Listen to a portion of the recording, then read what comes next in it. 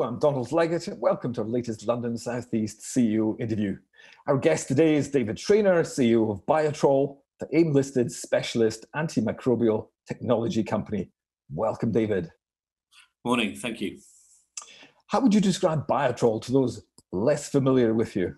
Uh, 25% of our staff, our staff are lab-based, so we're first and foremost a science and technology company. Um, we are in the world of infection uh, control and prevention, and we do that through biocides. And biocides are liquid products formats that uh, uh, eliminate bacteria, viruses, algae, and fungi from places where you don't want them.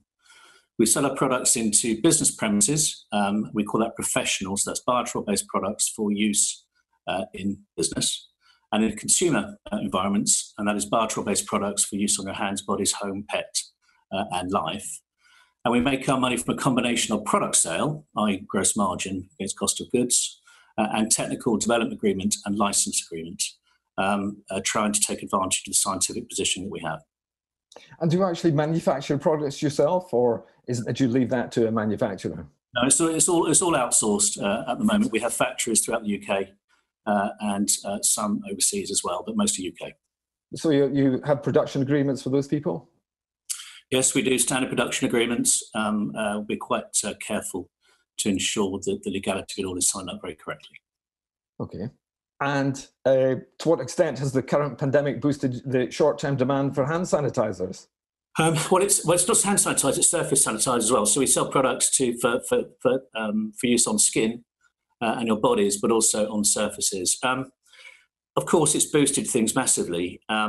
But what I would say is that what it's doing is magnifying uh, and uh, accelerating trends in our marketplace that had already been in place last three to five years, and that frankly we're very well positioned for. Um, so maybe I'll segue into that a little bit because it's key to understanding how the how the business is structured. So the, the demand for biocides worldwide is massive, tens of billions worldwide uh, in dollar terms and the demand for the active ingredients within those products also massive in the billions and it's growing at 3 to 5% per year. So you've got massive global demand.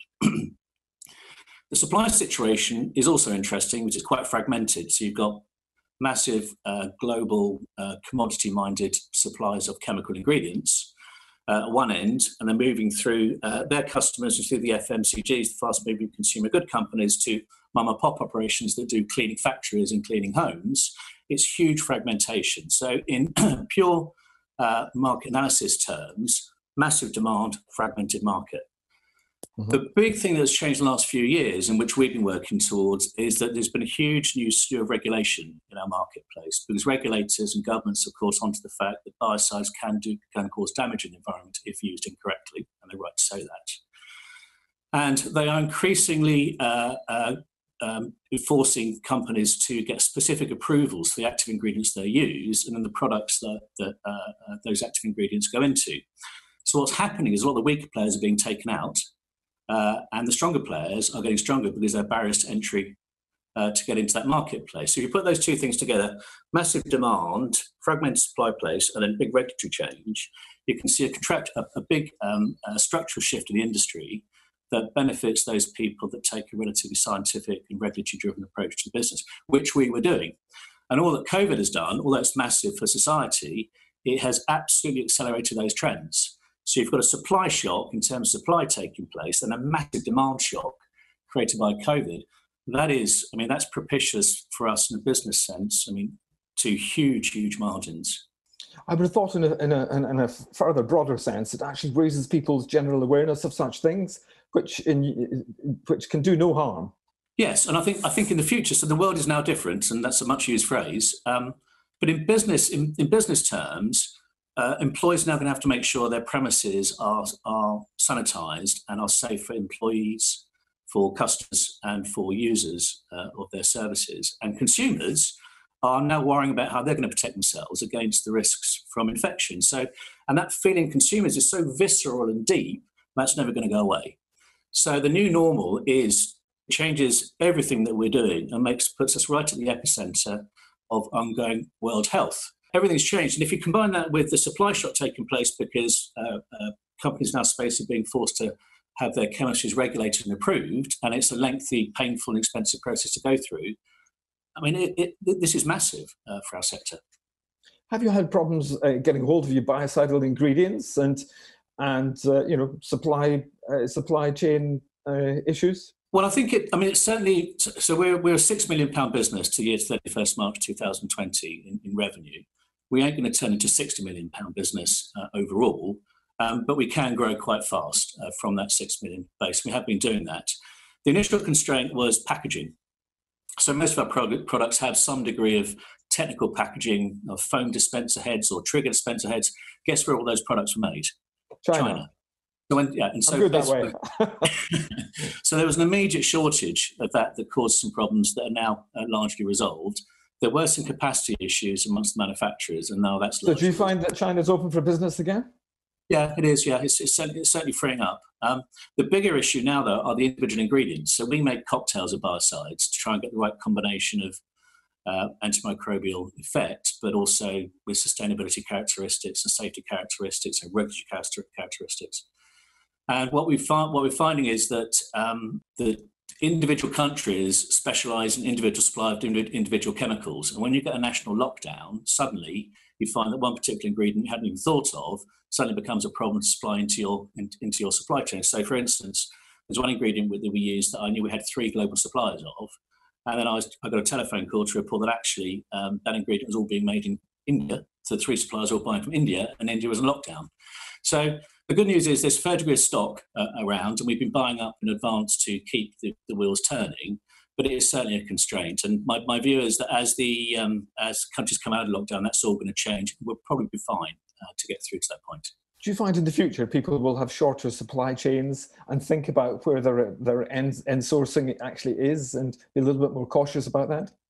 Yeah, absolutely. But, but I think I think we are increasing our stock, uh, particularly of ingredients, uh, and I think most people are doing that. And I think we'll be looking a lot more broadly about um, if it is through an international supply chain, we'll be spreading out amongst different countries to protect ourselves against this happening again. So less just-in-time supply. Yeah, yeah yeah, definitely. Absolutely fascinating. Okay, why not ask you about sales momentum? Clearly, it's been a cracking, a cracking uh, year. Uh, momentum is strong. You tell us uh, yeah. at record levels. Projected sales numbers look very good. What about what about? I could drill down on what sales numbers you expect for 2020, what sales numbers you expect for 2021, and what kind of I don't know how you you you, you work your business, but margins. Do, do you look at the gross margins or the net margins? Give us what detail you can. Yeah. Okay. So, so we um, in the year to March 2020, we've already told the market what our revenue and expected EBITDA was going to be. So, revenue is six million pounds, EBITDA about 250 grand. We haven't yet had that audited, so it's subject to change, but we think it's about there. Um, we haven't released guidance for the for the uh, for this current year to March 2021 um, because it's moving around quite a lot. We want to make sure we get it right on the upside and the downside. Uh, but what I would say is that in March we did a million quid in revenue, uh, and in April we did a million quid in revenue, and May I'm pretty sure we'll be about the same level. Um, so you put those numbers together, you can see that actually we're majorly ahead of where we were this time last year, and I think that's going to endure as well. Question is, how long will it endure for at those levels? In margin terms, uh, we because we outsource most manufacturing, I would say our gross margin is between 20 and 40 percent across our different product suite. But because we also license out our technologies and we do technical development agreements, that is very, very high margin indeed for obvious reasons. So um, uh, when you look at the blended margin across the business, that's actually going to be quite high as well because we're selling more product, slightly better prices, but also doing more technical agreements as the overall mix. Crikey, you've uh, told me an awful lot there. Thank you. That was very interesting. Um, okay, let's turn to license agreements. We've been touching on them all the way through. So part of that growth strategy is uh, to sign license agreements with, with, with major third parties, and you're doing very well. You just signed uh, signed uh, two more in the last what in the last three months. Well, I think, I think the first thing to say is licensing is a really interesting area uh, uh, for us because it ties us up with really good, impressive companies in our space and gets us out to more customers uh, in more formats with better logistics and better efficiency than we can possibly do on our own. So it's a, great it's a great place to be. Um, and what it does, it also stands testament to the quality of the science we put in place. Because if, uh, if we weren't, we don't have fantastic scientists talking the same level as our customers and our licensees, they wouldn't want to deal with us. Um, So, so it's all good stuff. So when people are looking at our, our numbers for the year, they can look at what it is we are um, putting into our P&L for licensing, and they can sort of, sort of work out across a series of licenses what the average income is like to be in each year. Okay. So you see this as a, a, a, good deal for you because you don't spread yourself too thin in the States. Um, let's take that back to your marketing spend. You're not having to worry about the States. How much marketing spend do you have and where will you therefore be focusing that? Most of our money goes into science so far historically. The, the team's been a bit quiet uh, publicly since uh, the current team took over in 2013 because we are focusing on getting the best science we could that's going to be regulatory approved and have some degree of differentiation. So um, about a year and a half ago, we bought a sales and marketing business that is helping us to distribute uh, more, more, product. And we're now increasing the marketing spend um, uh, to a level that um, is higher than we ever had before. So I think uh, I think in our last accounts, our um, research and development spend was about 450 grand. Marketing spend is going to be um, uh, is going to be in the hundreds of thousands, um, but we're not quite sure exactly how much this year. So, for instance, you know, we had a uh, several uh, conference and exhibitions um, organised for this year with a decent lump of cash going into that. And of course, most of those are being cancelled. Mm. So now we're looking at some more efficient use of that marketing spend. But in the future, that's you'd like to keep that percentage either yeah. similar yeah, yeah. Or, or, or, or, grow it. Yeah, absolutely. I mean, we need to we need to get the message out um, uh, broadly uh, to uh, um, to consumers and businesses and customers as to the quality of the science that we have, because we have something really quite special now. But it's mainly B2B, is it? Well, to define B2B, it is mostly B2B in terms of dealing with businesses, but we would define B2C as something that ends up on consumers. So, for instance, my pitch to a um, consumer facing company is as much about consumer insight, needs, and benefits as it is about the science. Now, obviously, some of the size of the companies we deal with, there's no way we're going to be a two out of 10 in terms of quality of marketing thinking compared to them. But we do have some insights, we do have some knowledge, and we can actually sort of put things together that are helpful that, that discussion. So for me, to do a, be a good B2C, a good B2B business that's covering B2C, you need to talk about consumers as well. And we're quite good at that. That's very interesting. Okay, which neatly segues us to SC Johnson. Yeah. So I googled SC Johnson, and they make Pledge, and they make uh, Mr. Muscle and all sorts of uh, big brands. So they are serious players uh, multinationally. No, we're, we're, we're, delighted to be associated with them, of course. It's not actually SC Johnson Consumers, SC Johnson Professional. Okay, which, and what, what, what's their part of that, the SC Johnson world then? It's, always I get it's equally massive. oh, equally massive. Good. That's a very good thing. so it's a huge. company. And what they do is they, they have their technologies and brands, and they spin it down to two different channels, which is what we are doing really ourselves, but in a minute way compared to them. Okay, so you, you know exactly the business model when you see it because it's yours. Yeah, yeah, yeah. Yes, Kimberly Clark does the same thing. A whole series of companies do it, so we're not doing anything particularly new. So, uh, but broadly, what have you signed with them? Well, so, so the, the deal. So, so um, SC Johnson uh, now own a company called Deb, which is one of the biggest suppliers of hand hygiene products into UK UK business premises, but particularly into NHS. And oh, uh, that's an ideal place to be. Yes, exactly. So we were supplying we were supplying hand sanitizer, alcohol-free hand sanitizer into the NHS ourselves, but we were struggling a bit because to do that properly, you need to put dispensers on walls, you need to service those dispensers, you need to train the nurses, you need to provide all sorts of extra extra data on an ongoing basis in a lot of places all at the same time. They're very demanding customers. So, so while the technology was very good and passed all the NHS standards, um, we, there's no way we could do it properly. So we set about looking for a, a, a, partner that could do that for us. And SC Johnson, we had a good relationship with through uh, through Deb. And so initially, our deal with them was we supplied them with liquid hand sanitizer that they, put, they then put into their dispensers.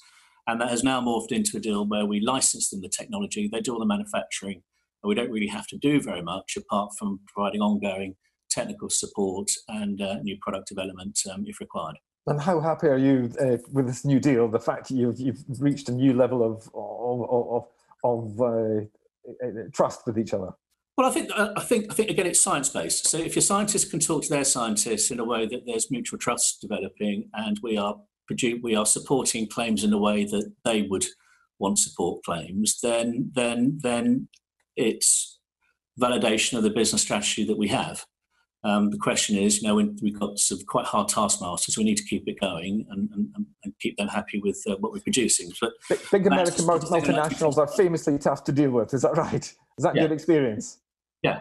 And um, are you discussing licensing agreements with other players? And how are those discussions? Yeah, we have conversations. And we, we talked about scalability earlier on. So we can scale out, we can sell a supply chain to a certain amount uh, with current resources. Um, one way to scale the business is to do more licensing uh, and more technical development deals because what that means is they get the benefits, the licensee gets the benefits, the technology and the claims that we can provide, and then they do the manufacturing. And, and in most cases, to be honest, they're better at it at the scale that we're talking than than we are. So it's a natural place to go. Yes, so yes, of course, that's something. I mean, the other thing is that the um, the, the, the, COVID the COVID situation is into a short to medium term boost to, to demand by having longer term license agreements, technical development agreements in place. What you're doing is you're actually projecting you know, profitability and um, income forward for a longer time than you can do just through supplying short term demand. So that's probably where we're spending more time than we actually in terms of short term capacity at the moment. Fantastic. Thank you. That was fascinating. Many thanks, David Traynor, for joining us. For more interviews like this one, please subscribe to the London Southeast YouTube channel. My final thought uh, thank you for watching and stay safe.